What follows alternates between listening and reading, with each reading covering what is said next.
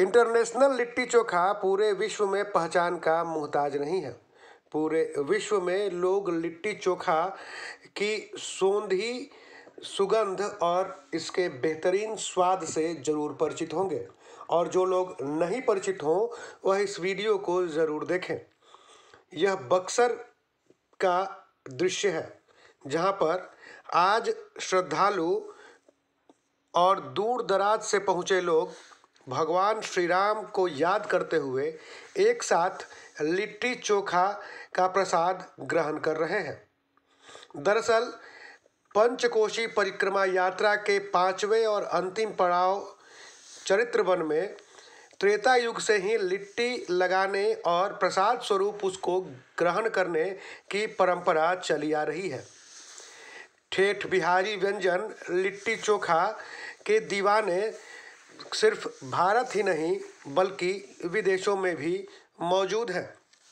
यहाँ बक्सर में आज एक साथ हज़ारों नहीं, लाखों की संख्या में लोग लिट्टी चोखा लगा रहे हैं। बक्सर के प्रत्येक घर में आज के दिन लिट्टी चोखा लगाने की परंपरा है। इतना ही नहीं, दूर दराज से भी श्रद्धालु बक्सर पहुँचते हैं, लिट्टी चोखा लगाते हैं और प्रसाद स्वरूप उसे ग्रहण करते हैं। इसके पूर्व उत्तरायणी गंगा में स्नान करने और भगवान श्री राम से जुड़े तीर्थ स्थलों का दर्शन करने की भी परंपरा है। इतना ही नहीं, लिट्टी लगाने के बाद उसे स्वयं खाने के साथ साथ लोगों में भी बांटा जाता है। बक्सर में लिट्टी चोखा का यह महापर्व आज यानी कि रविवार को मनाया गया।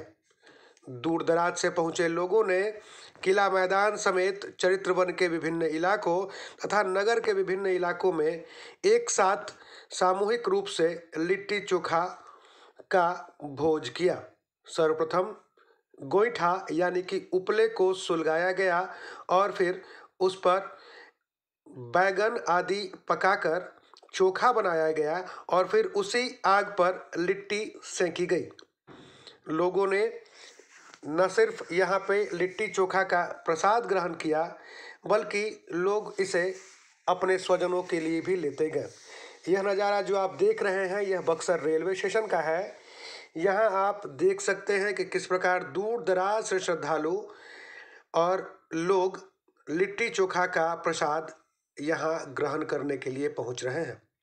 लिट्टी चोखा बनाने और उसे प्रसाद स्वरूप ग्रहण करने के लिए न सिर्फ़ बिहार बल्कि बंगाल, उड़ीसा, मुंबई और अन्य राज्यों से भी लोग यहाँ पहुँचे हुए थे। इसके अतिरिक्त बक्सर की तकरीबन 20 लाख की आबादी में शायद ही कोई ऐसा घर होगा जहाँ आज के दिन लिट्टी चोखा नहीं बनाया गया हो।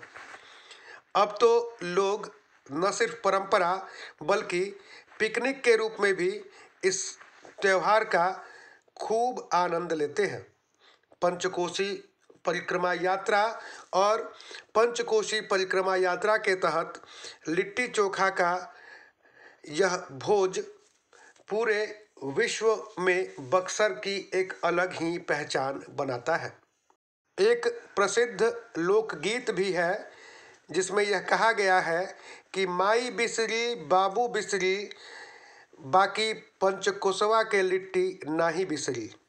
इस लोकगीत में यह कहा गया है कि भले ही दुनिया को भूल जाएँ, लेकिन पंचकोशी यात्रा के अंतर्गत बक्सर में लिट्टी लगाने और उसका स्वाद लेने की यह परंपरा कभी भी नहीं भूलेंगे।